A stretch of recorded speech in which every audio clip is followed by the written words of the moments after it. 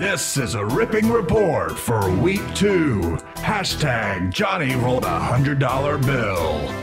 Look, it's hashtag Johnny. Your name is absurd, symbols and words, foolish and forgettable like a password. Mr. Johnny Football didn't make your shitty team. This team's more sloppy than a teen's first wet dream. Don't draft Kaepernick, that's a rule of thumb. You need a damn quarterback like AP needs a condom. Sammy Watkins could be good if he weren't made out of glass. Eddie Brett has potential, but no one's throwing to his ass. Jamaal is alright if he could stay out of the ER. Chris Johnson stabs you in the back like you're Julius Caesar. So you play with two Johnsons, tell me, are you a spitter? Change your damn name and keep the hashtags on Twitter.